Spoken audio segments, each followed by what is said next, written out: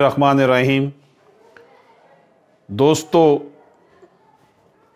آج آپ کی خدمت میں ایک ایسا المناک واقعہ جو ہے، اس کے حوالے سے بات ہوگی، جس میں پولیس نے جدید ٹیکنالوجی کا استعمال کر کے قاتل کو پکڑا۔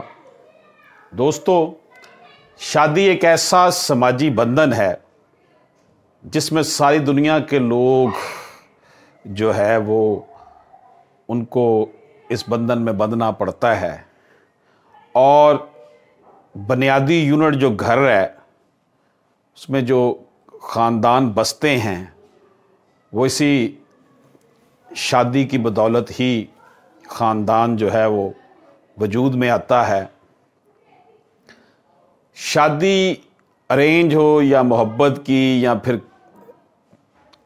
جیسے بھی خاندان والے کرتے ہیں، اس حوالے سے ہمارے کلچر میں بہت سی تبدیلیاں آ گئی ہیں۔ میڈیا، سوشل میڈیا کی وجہ سے، موبائل کے استعمال کی وجہ سے صورتحال جو ہے وہ رن اوے میرج جو ہے بھاگ کر شادی کرنے کا رجحان، اس طرح کی باتیں زبان زدوام ہوتی ہیں۔ بہرحال، آپ کو ایک واقعہ جو ہے، جس میں قتل کا واقعہ ہے، وہ آپ کی خدمت میں پیش کرتے ہیں کہ راول پنڈی کے علاقے میں ایک صاحب تھے، رہائش پذیر، جن کا تعلق میاں والی سے تھا اور وہ سرکاری ملازمت کرتے تھے۔ انہوں نے اپنی عمر سے بڑی ایک خاتون سے شادی کی تھی۔ اس خاتون نے پہلے بھی تین شادیاں کی تھیں۔ اور ان شادیوں سے اس خاتون کی چار بیٹیاں اور ایک بیٹا بھی ہے۔ شادی کے بعد ان دونوں کے درمیان تعلقات اچھے رہے اور پھر آہستہ آہستہ چھوٹی چھوٹی باتوں پر جھگڑا ہونا شروع ہو گیا۔ اور یہ معمول بن گیا۔ ان دونوں کی یعنی مرد کی تو پہلی شادی تھی، خاتون کی جو تھی، یہ چوتھی شادی تھی، اس شادی سے ان کے ہاں کوئی اولاد نہیں ہوئی۔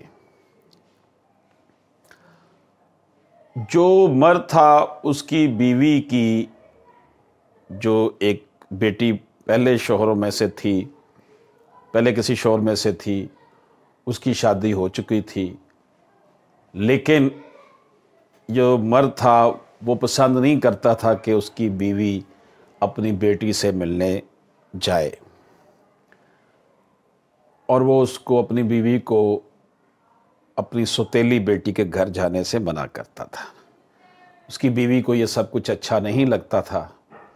اور وہ یہ باتیں اپنی بیٹی اور داماد کو بتاتی تھی کہ میرا شوہر جو ہے وہ تم لوگوں سے ملنے نہیں دے رہا۔ میں یہاں پر بات کروں گا برداشت کی، تحمل کی کہ وہ ہمارے معاشرے میں کتنا مفقود ہو گیا۔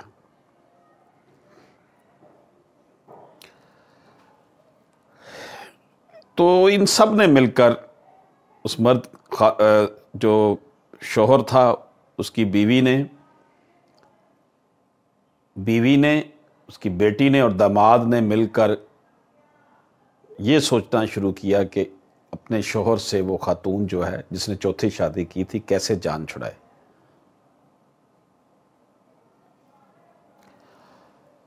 وہ جو شوہر تھا، وہ کرائے کے مکان میں رہتا تھا۔ اچانک وہ جو شوہر تھا، اس کے گھر میاں والی میں اطلاع پہنچی کہ وہ گولی لگنے سے وفات پا گیا ہے۔ اس کی اطلاع جب ملی اس کے والد کو، بھائیوں کو کزنز کو، تو وہ میاں والی سے راول پنڈی آگے جہاں کا یہ واقعہ ہے، انہوں نے اس کی جو رسوم تھی ادا کی، مقتول کی بیوی نے بتایا کہ وہ اپنی ڈیوٹی سے گھر واپس آیا اور کمرے کے اندر چلا گیا اور اپنی ہی پسٹل سے اس نے خودکشی کر لی۔ اس قتل کی جو رپورٹ تھی، اس حوالے سے مقتول کے بھائی نے ایف آئی آر کٹوا دی۔ اور جس میں یہ لکھا، اس ایف آئی آر میں، کہ میرا بھائی سرکاری ملازم تھا جو نہایت سمجھدار اور عقل مند تھا، وہ خودکشی نہیں کر سکتا۔ مجھے اس بات کا قوی یقین ہے کہ میرے بھائی کو اس کی بیوی اور اس کی بڑی بیٹی اور اس کے شوہر اور دیور نے نامعلوم وجوہات کی بنا پر قتل کیا ہے۔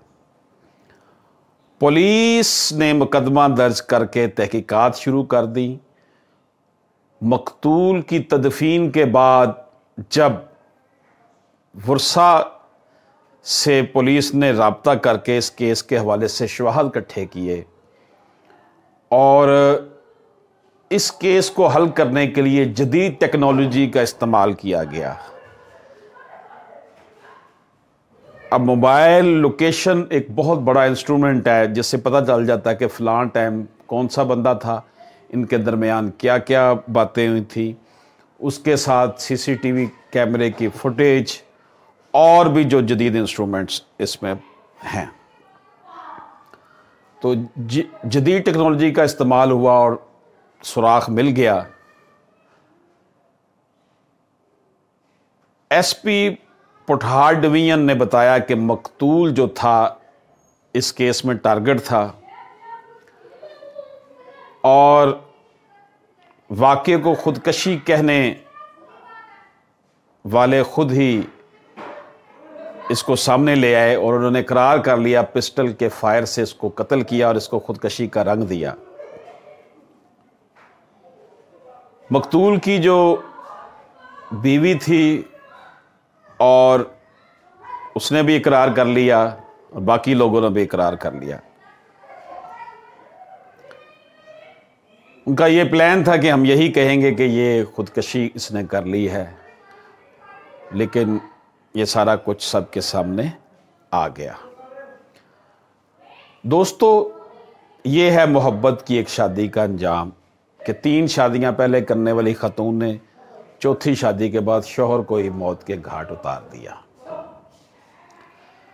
اب یہاں پر ڈیفینیٹلی اس شخص کے خلاف، اس شخص کو قتل کرنے والی، اس کی جو بیوی ہے، اس شخص کی جو ستیلی بیٹی ہے، اس کا شوہر ہے اس بیٹی کا دیور ہے، جو ستیلی بیٹی ہے، وہ سب لوگ اس میں حصے دار تھے۔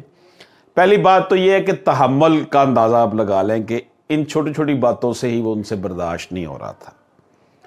دوسرا یہ کہ کیسے خاتون سے شادی جس کی آلریڈی اولاد بھی تھی اور وہ تین طلاقیں، تین جگہوں سے طلاقیں لے کے چوتھی شادی اس نے کی تھی، اس کا آپ رویہ دیکھ لیں۔ لیکن اس میں یہ ہوا کہ ہماری پولیس نے جدید ٹیکنالوجی کا استعمال کرتے ہوئے اس قتل کا سوراخ لگا لیا۔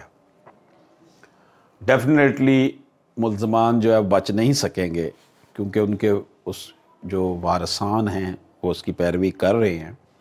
لیکن ہم نے دیکھنا یہ ہے کہ اس طرح کی شادیوں کا انجام کیا ہوتا ہے کہ اس طرح کی جو بے جوڑ شادیاں آج کل ہو رہی ہیں، ایک طرف تو ہم دین اسلام کا نام لیتے ہیں اور جناب نہیں شاد لیکن اب آپ یہ دیکھ لیں کہ دین اسلام جو ہے وہ پھر ہمیں اپنی عملی زندگی میں بھی اس کی امپلیمنٹیشن کرنی چاہیے۔ اس لیے یہ جو اس طرح کی شادیاں، بے جوڑ شادیاں لوگ کرتے ہیں اور ان محبت کی شادیوں کا انجام کیا ہو رہا ہے۔ یہ واقعہ جو ہے، یہ ہماری آنکھیں کھولنے کے لیے کافی ہے کہ چھوٹی سی باتوں پر جو ہے کس طرح لوگ ہائپر ہو جاتے ہیں۔ دشمنی، اپنے خاوند کو جو ہے نا قتل کرنا دیکھ لیں، کتنا جو ہے وہ بڑا اقدام اس نے اٹھا لیا۔ اور خاتون کی ایج بھی جو ہے وہ ففٹی پلس ہے، پچاس سال سے زیادہ ہے۔